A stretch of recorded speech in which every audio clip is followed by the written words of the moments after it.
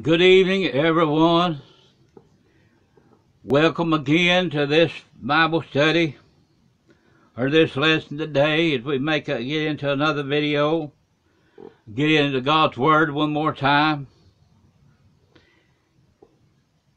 and I and see what He has to tell us today. And I know it's already know it's going to be great because it always is.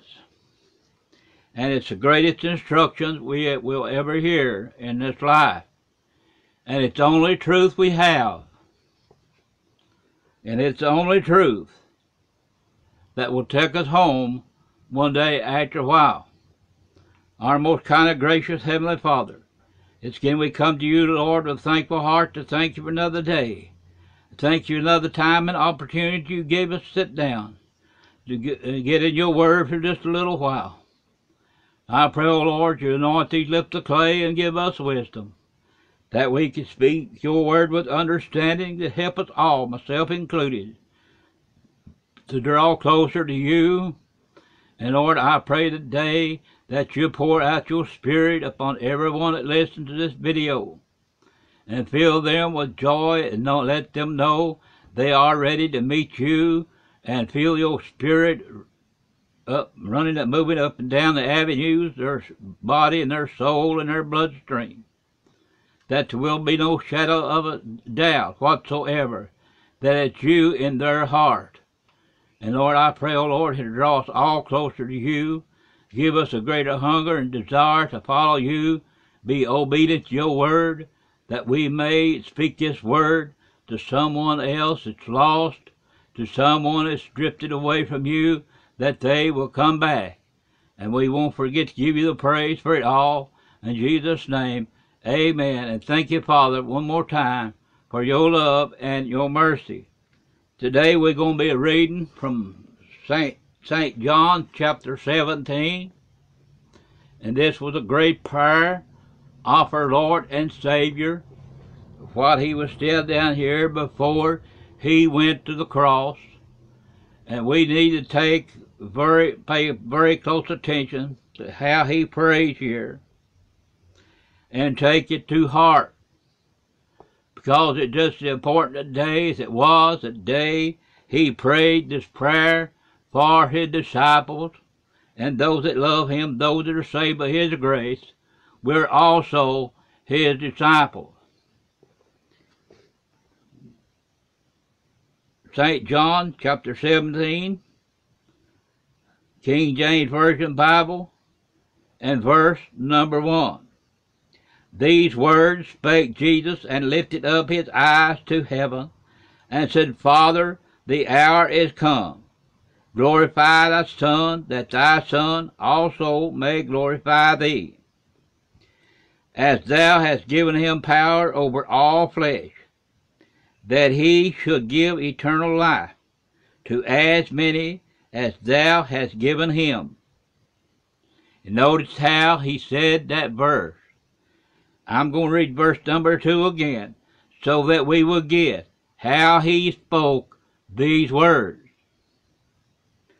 As thou hast given him power over all flesh, that he should give eternal life to as many as thou hast given him if the Lord has given us unto Jesus.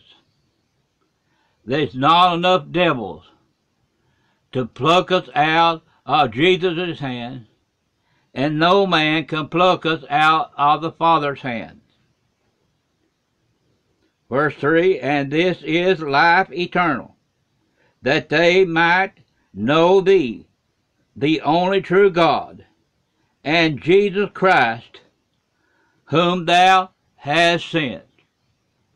My friend, today, it's sad, but it's true. Many, many today don't know who Jesus is. And many know of him, but they don't know him as their personal Savior. My friend, there has to be a great change take place in our hearts and our lives in order us to know Jesus as our Savior. Verse 4 I have glorified thee on the earth. I have finished the work which thou gavest me to do. Other words, Jesus, God's Son, for he fulfilled the mission that he came to do.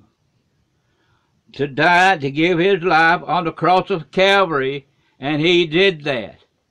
And he was telling them, telling here us here in John, that everything that the Lord had spoken will be fulfilled to the letter, to the jot, to every I be dotted, every T will be crossed. Now listen what it says. Verse 4 I have glorified thee on the earth. I have finished the work which thou gavest me to do. And now, O Father, glorify thou me with thine own self, with the glory which I had with thee before the world was. He's asking the Father to glorify him again, although he's already glorified. He's asking the Father to glorify him again. And it did because he loved us that much. That he did, and he was willing to go to the cross and die for our sins, to pay our sin debt in full, the debt that he did not owe, but a debt we owed and could not pay. He did it for us on that old rugged cross of Calvary.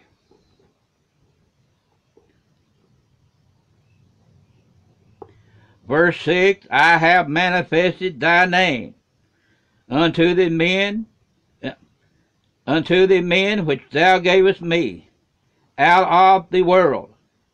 Thine they were, and thou gavest them me, and they have kept thy word. Just pay a close attention. How he's a praying here today. And my friend, the same prayer he was pray, praying for them then. He's praying for us today because we are His, because He paid that price for us on the cross. He died for our sins. He spilled, shed His blood that covered us, it covered our sins and washed our sins away and forgive us of our sins and made us a fit subject for heaven, my friend, and we owe Him all the praise we owe him all the glory and honor that we can possibly give and be praying that we can give him some more because he is worthy, my friend, all the praise and honor and glory that we can give him in this life. I know we're weak. We're just in the flesh. But my friends, we can glorify him through the Spirit, through loving him and obeying him and keeping his commandments and sharing this gospel to the lost and dying world that he called us to do. We don't have to be a pastor. We don't have to be a preacher to share God's word. Therefore, we're all ministers of the gospel to each other, to our families, to our loved ones, our neighbors, our friends, whoever we have the opportunity to speak to. And my friends, if we're sincere about it, the Lord will make a way that we will have an opportunity to speak to others about the Lord Jesus and about their soul and where they're headed if they don't get saved before it's too late. And I'd pray it'd be a wonderful day today for somebody to get saved It'd be a wonderful day for somebody to turn their life around and repent and go back to God and start their walk over with the Lord Jesus. In other words, go back to the altar and do the first works over and repent and get back on the road that was that is right, that is straight, and follow it all the way through because Jesus is the way, He's the truth and the life, and no one can come to the Father except through and by Jesus Christ. And no other name under heaven whereby is given for a man to be saved than the Lord Jesus Christ.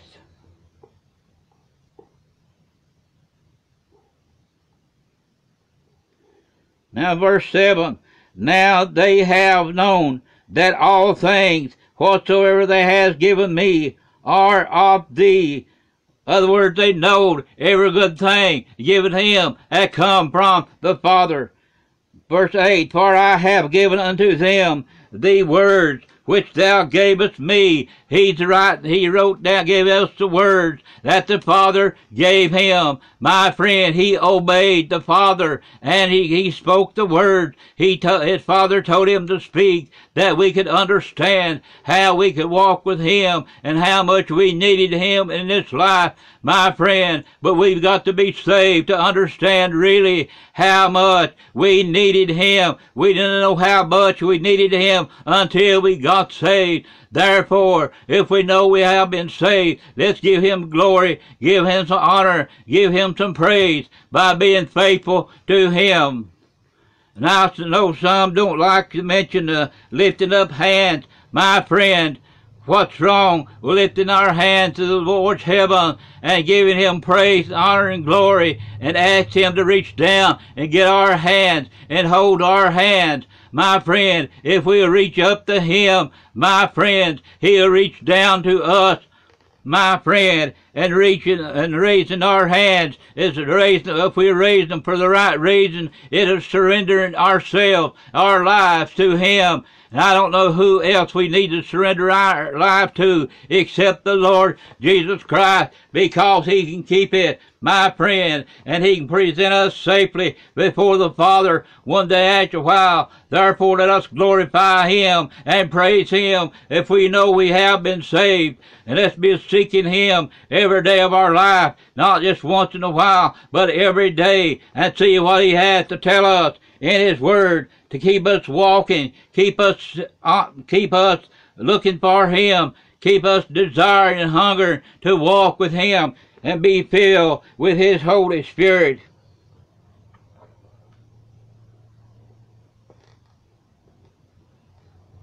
For I have given unto them the words which thou gavest me, and they have received them, and have known surely that I came out uh, from thee, and they have believed that thou didst send me. They believed in the Father as he believed in the Father. Also we believed in the Father and we know that he came forth from the Father, my friends. Therefore, we got to have both Father and the Son and the Holy Spirit. These three, their unity of the Godhead body, the Trinity of the Godhead body, the Father, the Son, and the Holy Ghost. My friend, we can't have one without the, uh, having the other, other two. We can't deny one without denying the other two. Other words, we deny one, we deny all. My friend, today, let's wake up the truth to God's word. Let's let's lean on Him and hold to Him,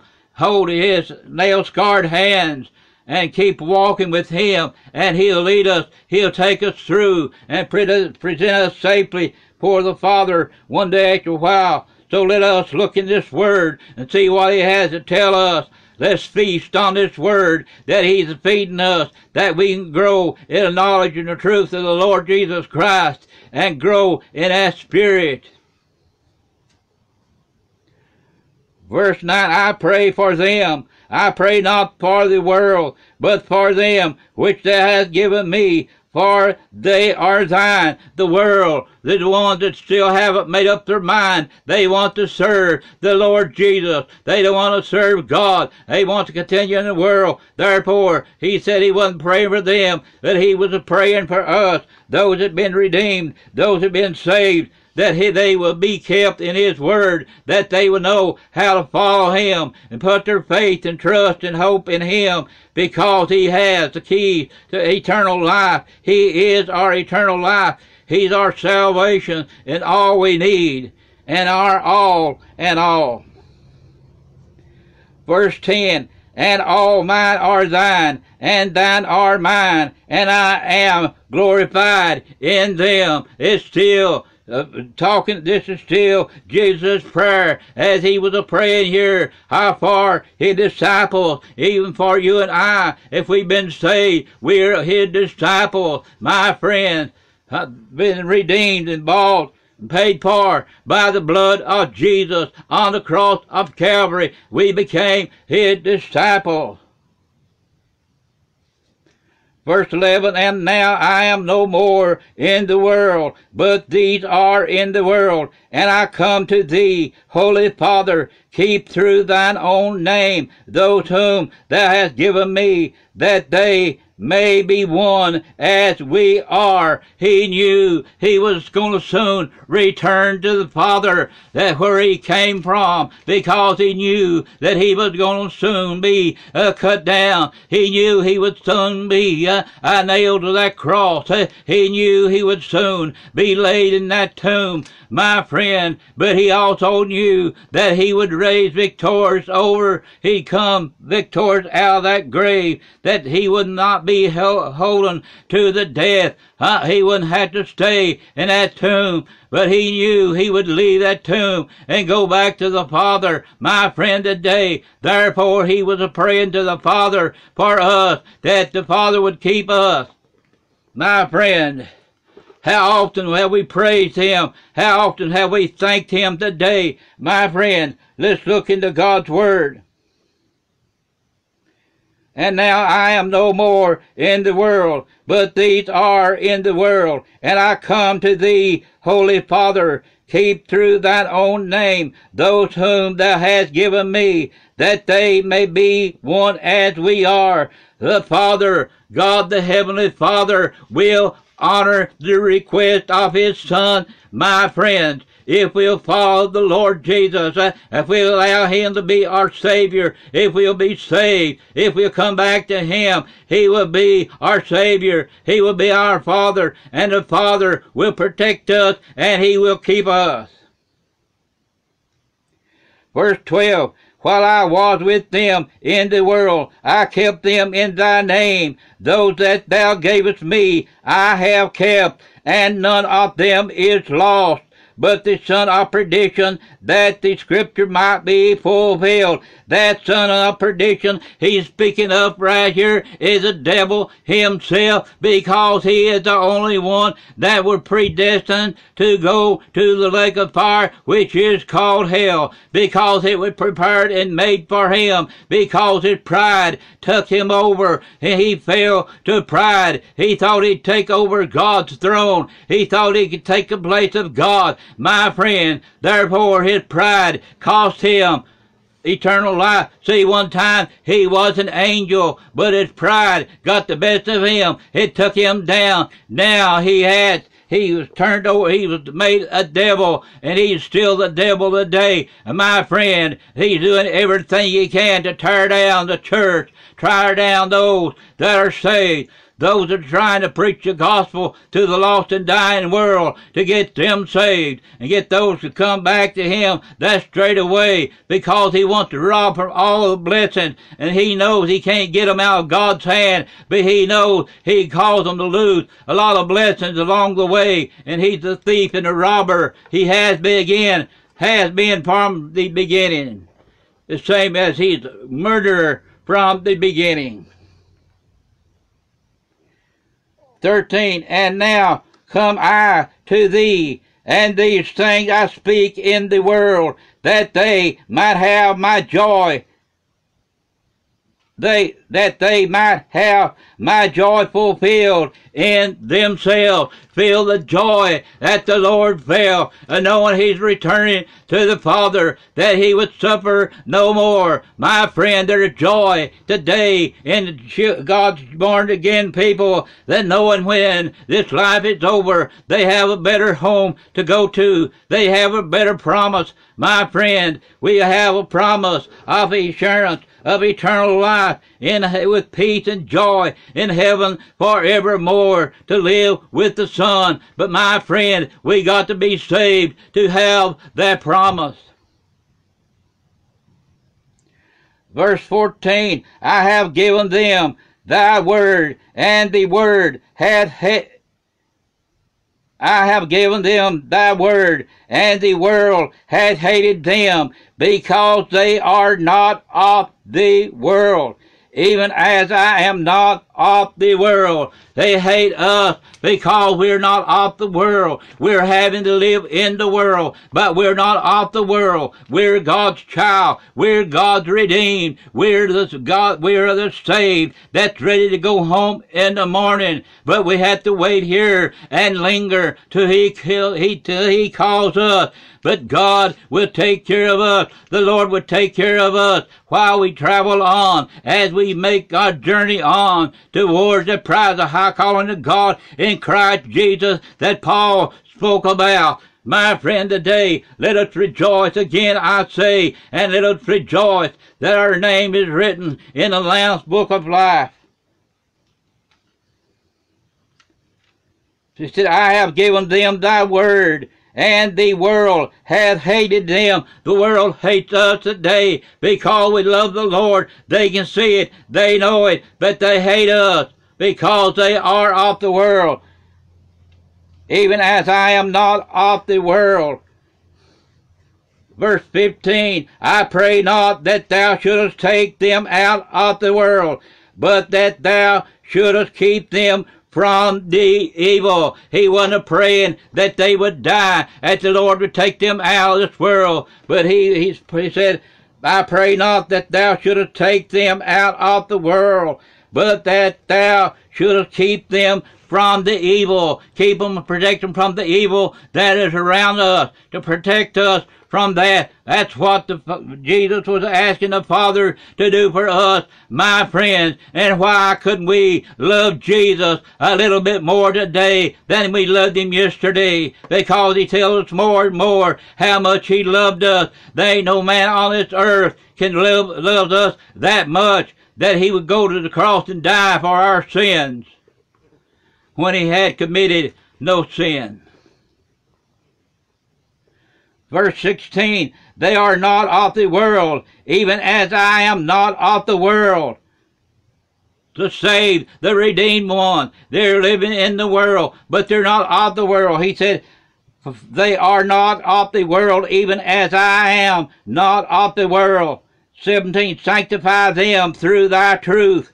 Thy word is truth. Through this word of this holy Bible, my friend, the word, the one that people want to discard and throw it away and walk on, walk, trample it under their feet. My friend, those trample under the word, on the word of God, are trampling over His blood. My friend, let's not trample on the word. Let's let's lean into the word. Let's accept it into our heart and believe it with everything we got, and lean on the Lord Jesus Christ and let him be our guide. Let him lead us and direct our path and ask him to show us the way that we may be able to make it because we cannot live it within our own self. He has to live it through us. Verse 18, As thou hast sent me into the world, even so have I also sent them into the world. He sent us into the world to witness to those that are out of the way, those that are lost, those that strayed away, to speak the gospel to the lost and dying world.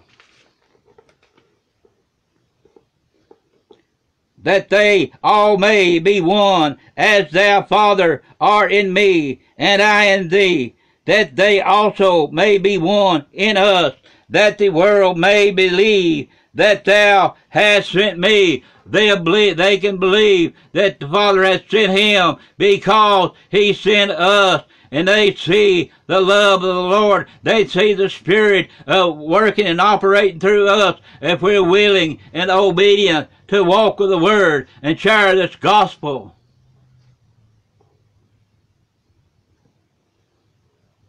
Verse 22, And the glory which thou gavest me, I have given them, that they may be one even as we are one. Think about this now, my friends. Think about this strongly and heartily. What he has said here, how much he loves us what he has done for us that accepted him as our Lord and Savior Jesus Christ when he was bleeding, pleading for us to come in and when that Holy Spirit was drawing us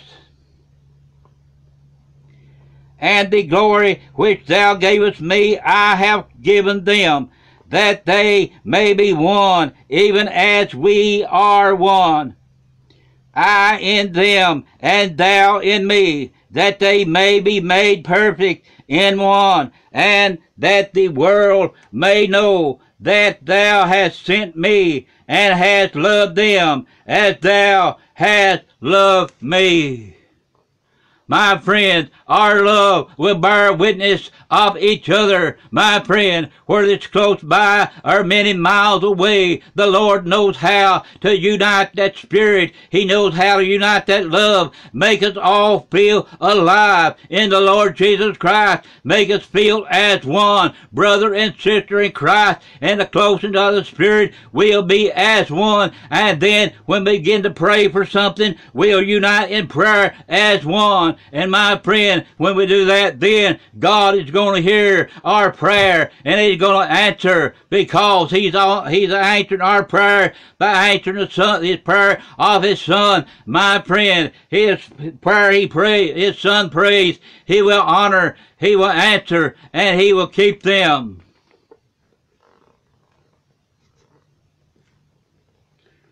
Twenty-four, Father, I will that they also whom thou hast given me, be with me where I am, that they may be, may behold my glory, which thou hast given me, for thou lovest me before the foundation of the world. They will, he once said, now, he said, I will, Father, I will, that they also whom thou hast given me, be with me where I am, that they may behold my glory, that they may look upon me and see my glory, which thou hast given me, for thou lovest me before the foundation of the world.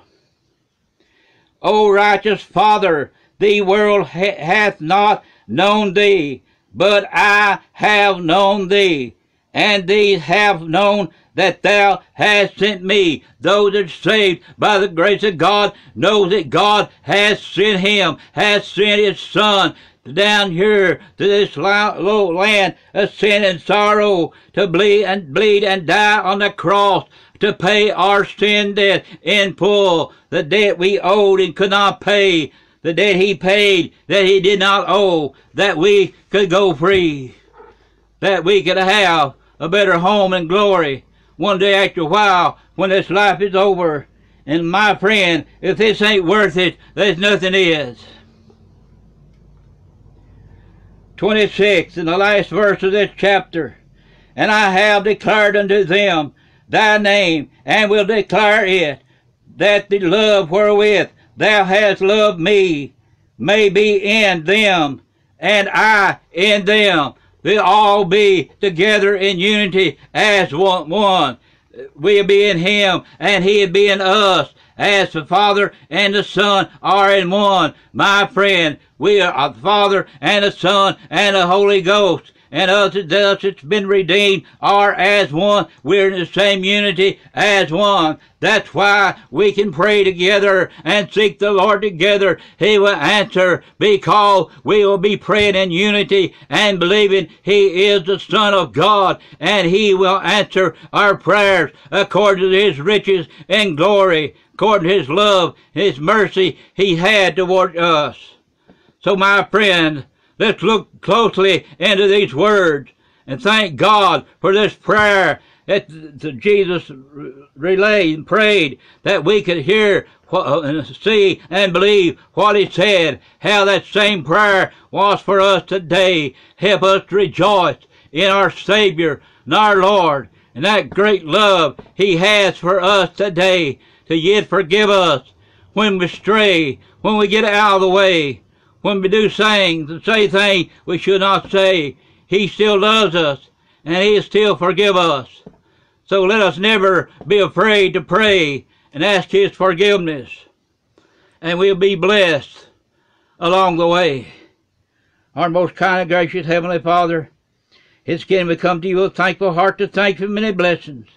We thank you for another day, another time you've given us to come out and get into your word just a little while. And Lord, we thank you, Lord, for the scripture you laid on our heart today, Lord. And I praise you, I give you honor, I give you the glory. And I know, Lord, your word will not return void to where you sent it. And I know you're sending it to someone today. I don't know who, when, who, but I know you're sending it to someone today. And you send it to someone that's drifted away, that's wanting to come back. Lord, this will be a great day for them to get saved. This will be a great day for them to come back. And Lord, I pray it'll draw us all closer to you. You let your spirit bubble uh, in our soul and our body and our mind that we can feel your spirit running up and down the avenues of our soul and our body and our bloodstream. And Lord, I pray today it'll keep us walking faithfully to you and looking forward to meeting you one day after a while. And now, Lord, we pray for those that's lost and undone that don't know you as their Savior, Lord. I pray you send your drawing spirit to them one more time Give them another opportunity to accept you before it's too late. Because we don't want no one to leave this world unprepared to meet you. And Lord, today we pray for those that's sick in body and afflicted, that you reach down, heal, deliver, and set free. But Lord, if it's not your will, if you can set them free or heal them, you let them still be a witness to those around them, those sees their suffering, that how they can still be faithful to you and rejoice in your love, that they can be a witness also through that. And Lord, I pray for each one of us today, walk closer and closer to you. And Lord, and when you get ready to call us away from this world, Lord, we can hear you say, Well done, my good and faithful servant. Enter into the joys of the Lord. Your work and labor on earth is done now. You can come on to live with me and dwell with me in my kingdom forevermore and take your rest because your labor is done. And Lord, when we get there, we can bow our head and step aside and give you the praise and honor and glory we can't give here today. And I also pray that you'll save someone today before this day ends. And Lord, when we get there, we can glorify you forevermore. And we can sing and tell the old story. How we saved by grace and how you gave your life for us on Calvary's cross. That we could be saved, that you redeemed us.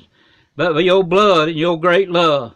And Lord, we be able to walk maybe beside that river of life and yes, uh, rest under the shade of that evergreen tree, because we'll be there for ages. While the ages roll on, there will be no end to that joy and peace that's waiting over there. But Lord, I know we have to be clean before we make it there. Now, Lord, one more time, I ask these things in Jesus' name. Amen. And thank you, Father, one more time for your love and your wonderful grace.